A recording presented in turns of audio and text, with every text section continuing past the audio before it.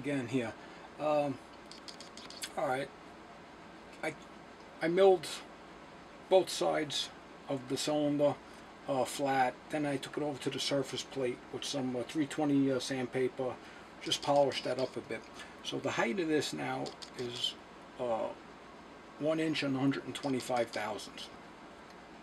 Now next step is we have to bore this out for um, a half inch diameter hole. So um, I'm going to try to center this uh, somewhat. This is, um, see what we can do with this here. Uh, this is roughly a hundred, it's about a hundred, one inch and 30 thousandths. Um, so that means the radius of this would be um, half inch, uh, 650, uh, 515 thousandths. So I have an edge finder on here. I'll pick up the edge, uh, go in 515, and pick up this edge and go in 515 thousandths. And that should be pretty much in the center uh, of this uh, casting uh, where the cylinder bore should be.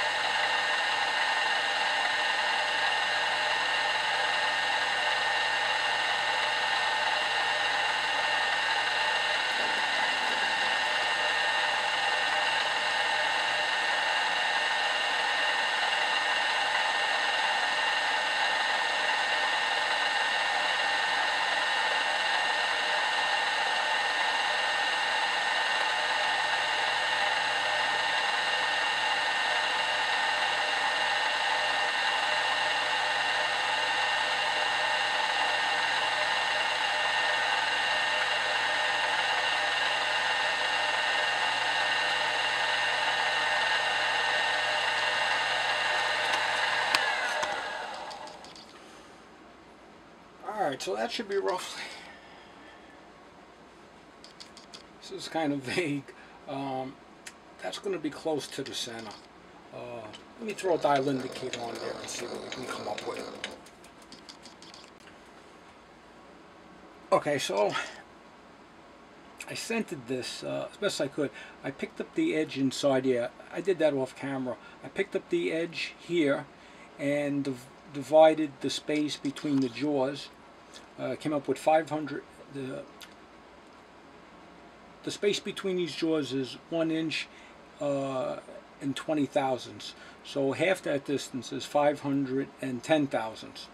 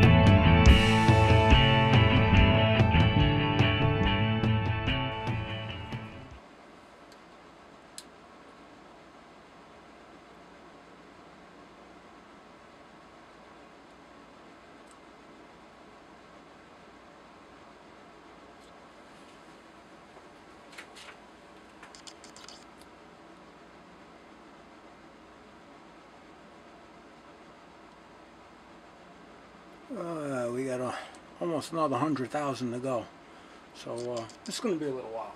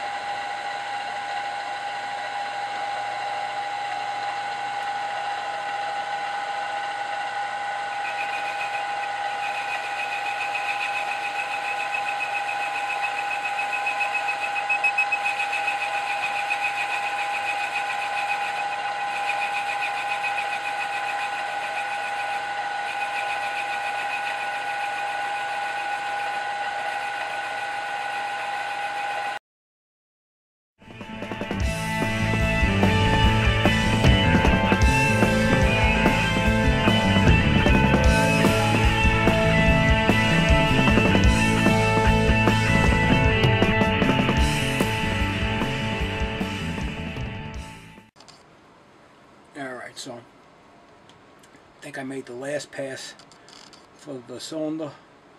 Uh, let me get this out of the way. Okay, so I've got my snap gauge here. Let's get a reading on that.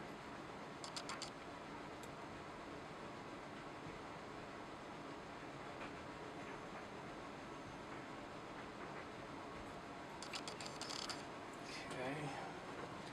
See if we can get this in the camera here.